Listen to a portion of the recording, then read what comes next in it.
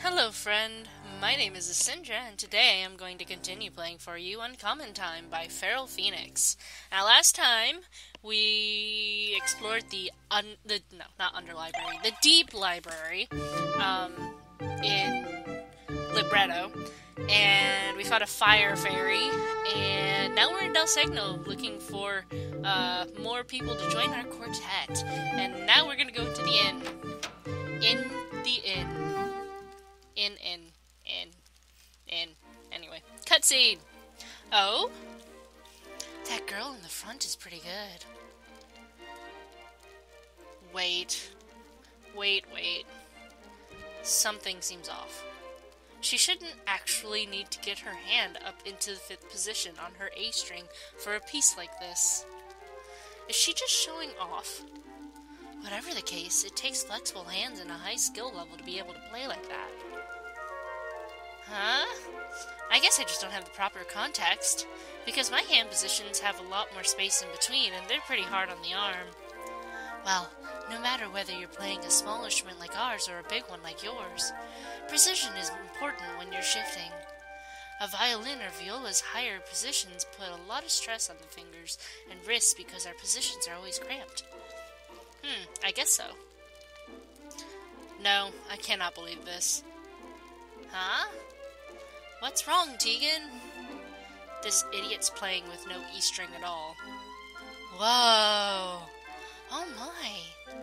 That's it! We've gotta ask her if she wants to come. If she can play like this when she's missing a string. I agree. I don't think that I could do the same. No. Where are you two looking?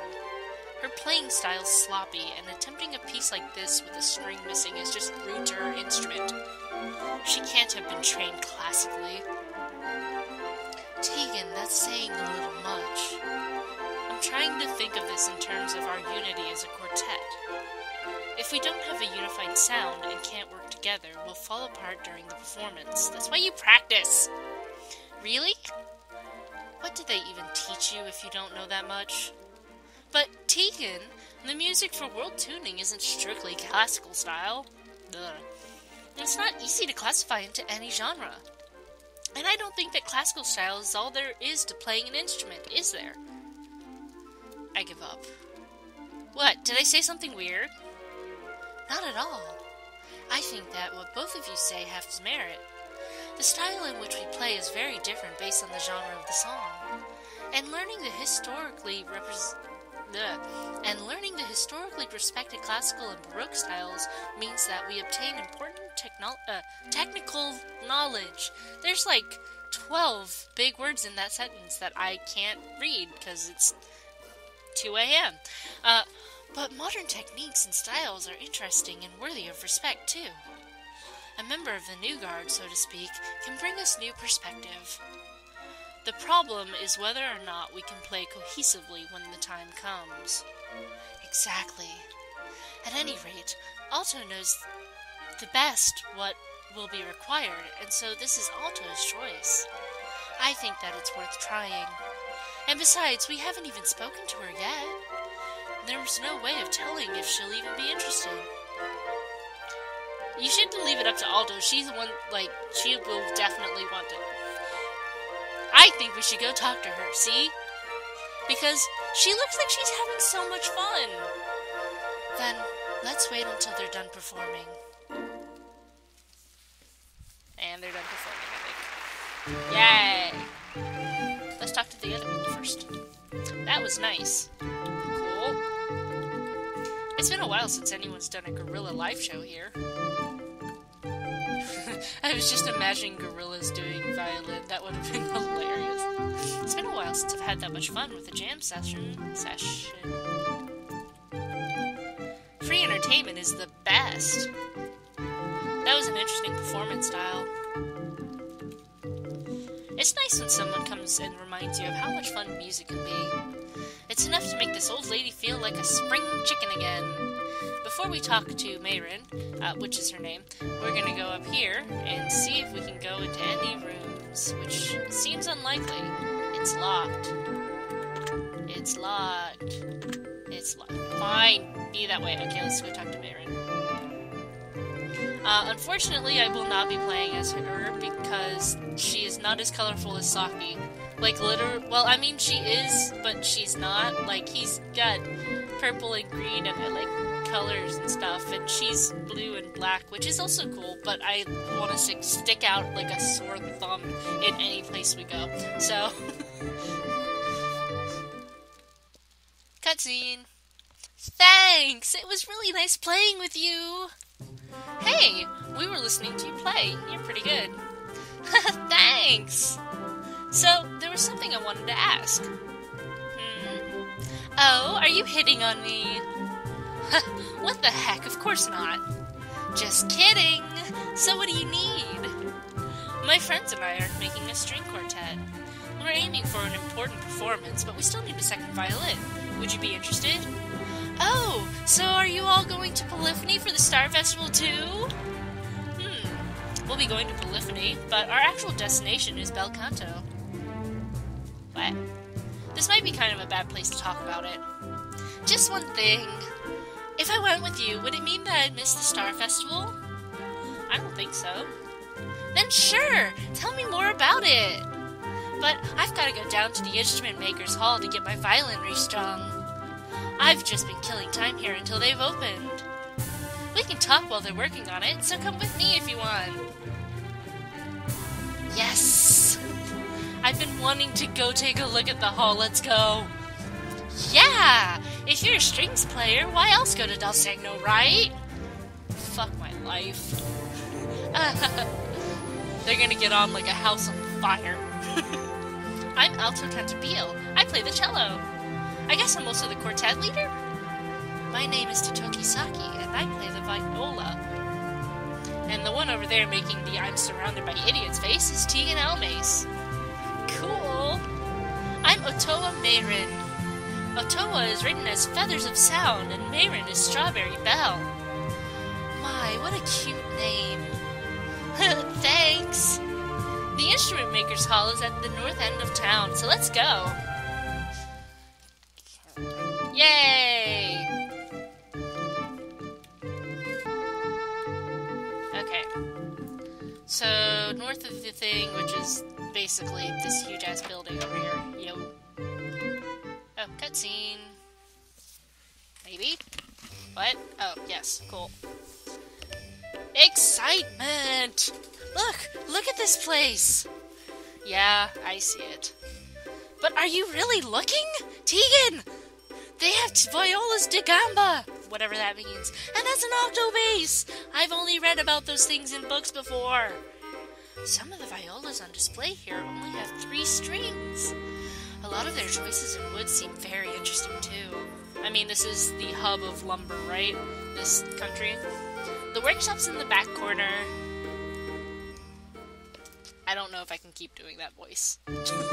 Anyways, let, before we go do the thing, we're gonna look at all the instruments. It looks like a viola at first glance, but it actually has only three strings. Oh. I've heard of a viola model that only uses three strings, but I've never seen one before. It's a violin. yes, that that is a violin. It looks like a viola, but on second glance, it's too big to be one. This is a viola profonda. There are two kinds of them violettas and tenor violins. They're not commonly used, so not many luthiers make them. My, I'm so glad I came to Harmonia. Just being able to see and touch these makes the whole trip worth it. Okay. We can't actually touch these, so I don't know what they are. I mean, those are bags, but whatever. I don't know. It looks like an ordinary viola, but it has seven strings. This is a viola d'amore. I've read about them in books on Baroque music, but I've never seen one before. Cool. It's a viola. okay. It's an unusual instrument that looks like a bass but is smaller than a cello and has more strings. This is a viola da gamba.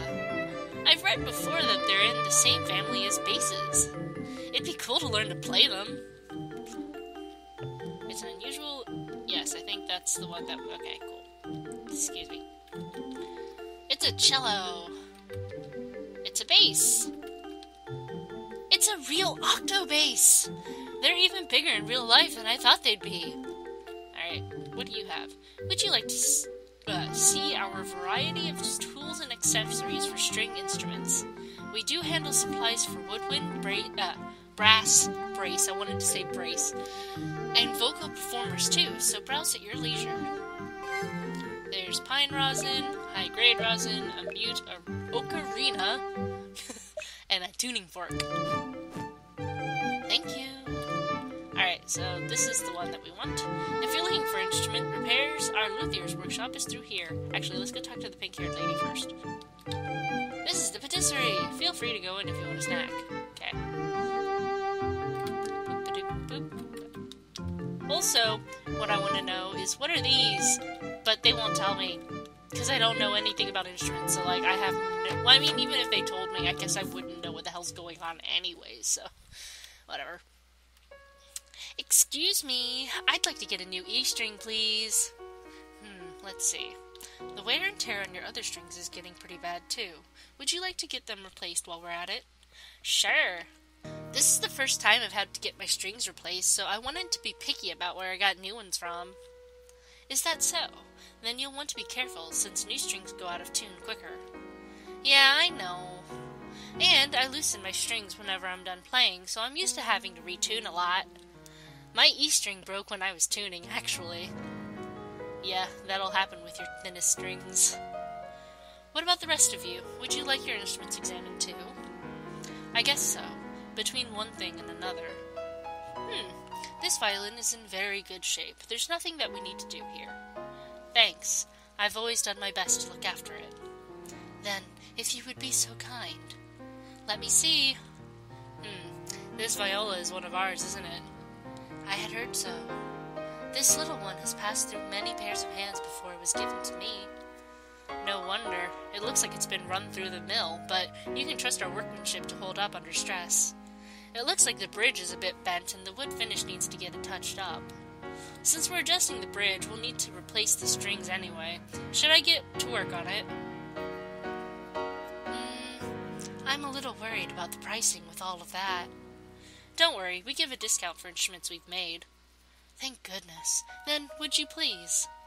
What about you, Alto?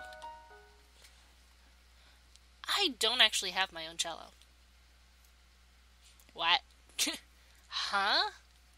Come to think of it. Then, what? Were you planning to buy one here or in some other city? No. Carrying a big instrument around would be too much trouble when we're all running around in areas with monsters. We won't be performing with our own instruments anyway. It's just convenient to have one with you to practice. My. You're underestimating the underlying issue here. Alto's never been allowed to have her own cello. Mm, the family house has got plenty of instruments, and the more I learn, the more they let me pick and choose which one I get to use. But none of them was ever really mine. Ah, but because of that, I'm pretty good at compensating for differences between instruments when I play using a new one. And I can rent a cello for rehearsals, so there's nothing to worry about there. It's like missing a piece of your soul. Alto. Would you happen to be? No, I'm probably just imagining things. Anyhow, it'll take a while to perform maintenance on these two instruments.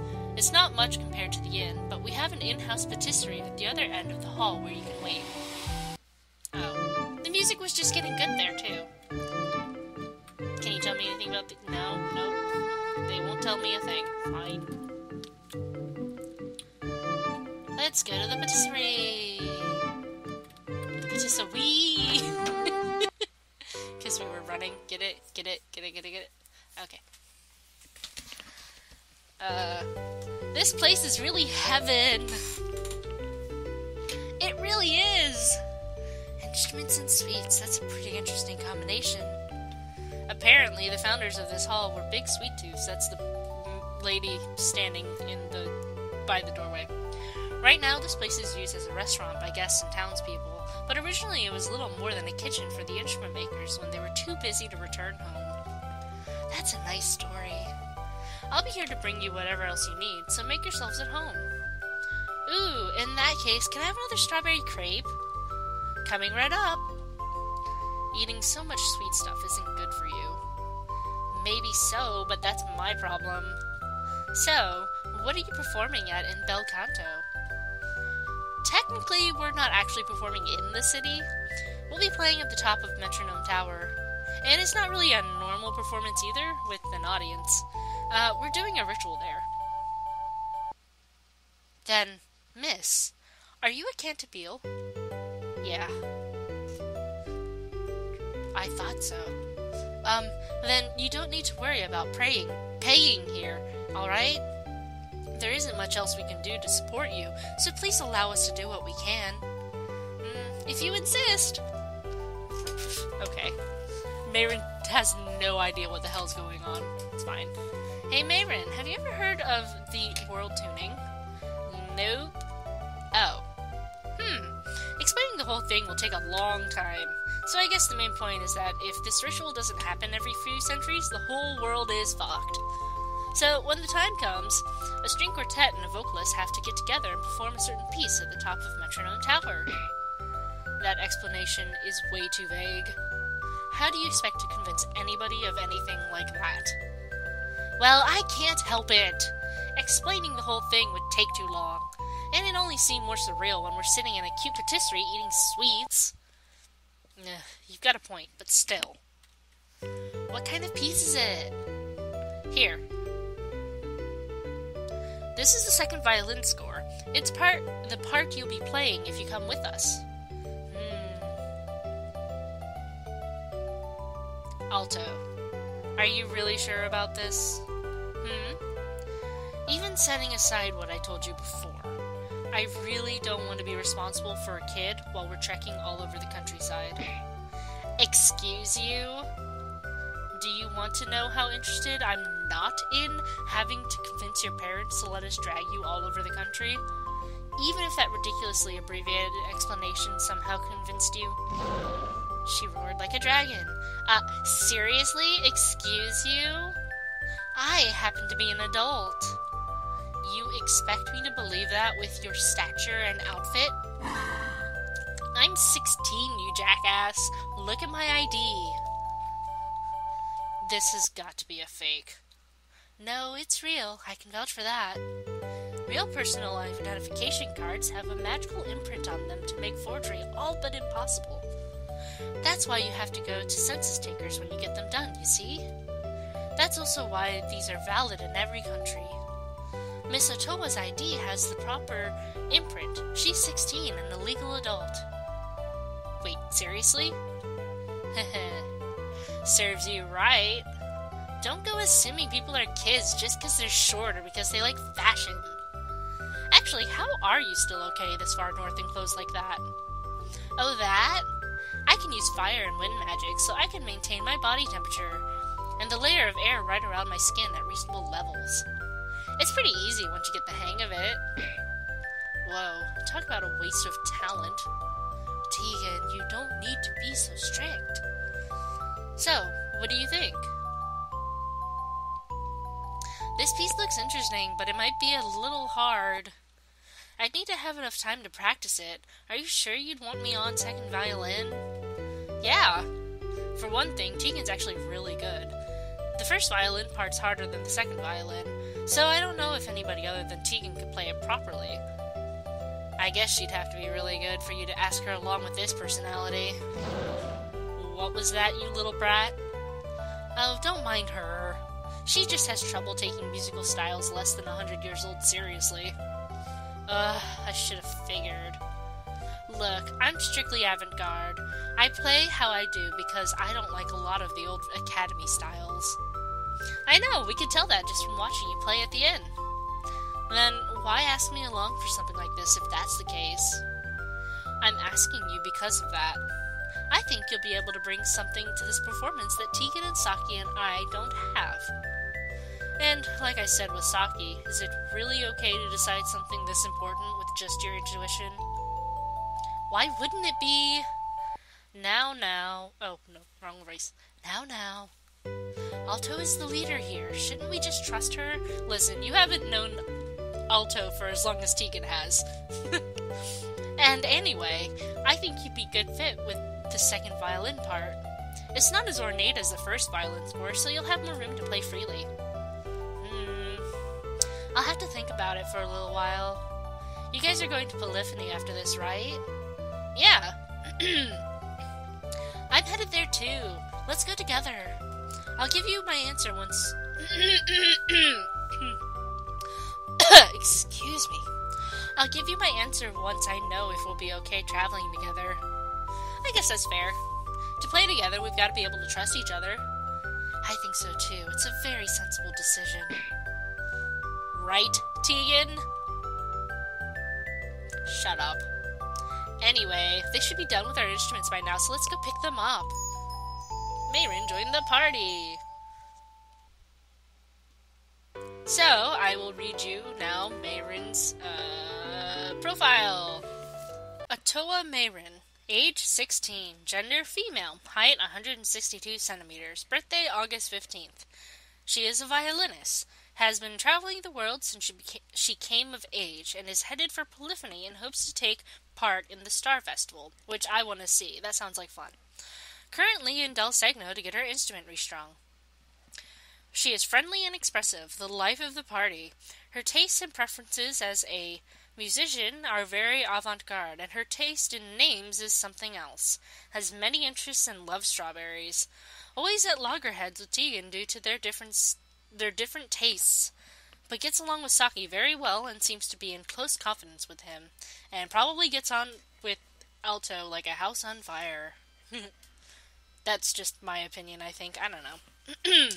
Alright, so let's go get our instruments. I was trying to use the WASD. That did not actually work because this is not how that works. Anyway, up we go. Yo. Here you go, take care. Thanks! Okay, was that it? Seriously though? Okay, fine. Uh, so let's see. Mayrin uses chakram, which are the the uh, circle thingies that Axel uses in Kingdom Hearts. That's all I know them from. Seriously. I think. Let's see. Should we leave right away? Mm, I guess let's make sure that we have all the ge- right gear. And check around town to make sure we haven't missed any clues first. It's not like I'm in a hurry, so I'll just follow you guys. Okay. Alright, so I got everything that we need, and now we are going to go to. Uh. Whatever this pass is called, I forgot what it's called. Enter Pizzicato Trail. Yes. According to the map, Polyphony should be on the other side of this mountain pass. More mountain climbing. The Pizzicato Trail is supposed to be longer than Arpeggio Pass. We'll probably wind up having to find somewhere to take shelter for the night. Uh, really? It's the only way from here to Polyphony. This is a pretty mountainous region. On the other hand, there ought to be some caves or lean-tos or something that have been sealed from animals and monsters so that travelers can use them safely. See, it'll be okay. And there might be enough space to start a fire. I've decided I don't like to travel. No need to worry, my prince. I shall escort thee. You're a funny girl. How did you stay this cheerful? Because Polyphony is waiting for us. Polyphony! Allons-y! Ugh, are we going to be okay like this? I'm glad we met such fun people. If you say so. Come on, Allons-y! Allons-y! Very Doctor Who. Yay! Onwards! We. Wait, what's down here? White Pinion. Yay, we can resurrect people if we need to. Go away, you evil snakies. Oh, we can't. yes, yes. Oh boy. Onwards. Alright, I think that this is one of the chakrams that, uh, like the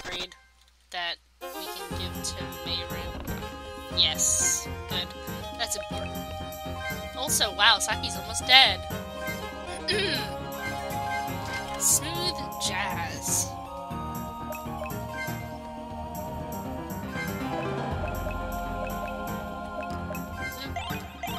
Okay. To be honest, I probably could have just used um, his healing spell on him. That would have been smarter. God damn it. So we're not going to... Oh, come on. I just want to get up to the thing. Thing being in Chimera. That we get to fight. Yes. Well, I get to fight. You get to watch. Kind of. Sped up. So many fighting things recently. Uh, like, not normal encounters, but the big encounters. Then again, when I was playing this the first time, I uh, spent a lot more time doing stuff because it was the first time, and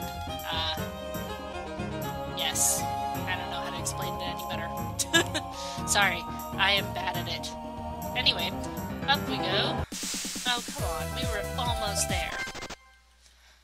The first time I played this, I think it was like episode 6 that we ended up meeting Mayrin, so, you know, we're doing better. It's only episode 4. Boom. Got 5 naturals. Oh, this pass, I have been here a long time. Yay. Um, we're going to save. In, uh, my file 7, this one, we, uh, well, I have been, um, training while I was re-recording, so or in between re-recording, I guess would be a better way to phrase it. Anyway, uh, there's a big monster in the way. Uh, I want to take a break already. It's hard to see past the monster, but that looks like a cave back there. Probably stop for the night. Is waiting for it to go away no good? Well, it's already noticed us, so yeah, I guess the way the monsters are getting more violent, we're already out of luck. Why was I born into an era like this? Who knows? Okay, you guys, enough complaining. It's four against one, this won't be so hard. Says you.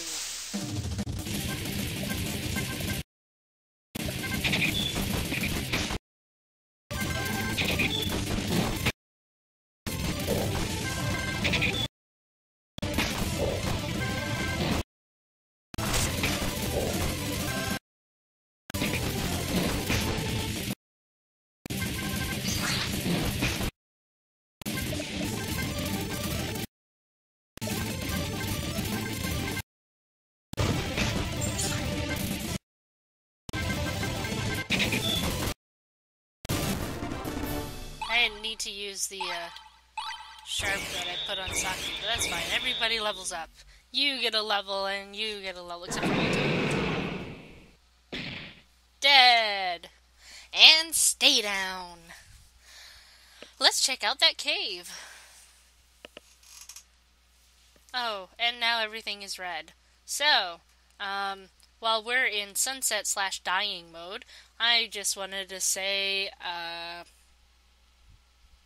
look forward to the conversation that we're going to have next time because there's going to be a long conversation next time uh, where they explain world tuning. So, you know, look forward to figure, finding out what that is finally. Well, more in depth anyway, because Alto is not very good at explaining it. Um, thank you for watching. Uh, I love you. Bye bye.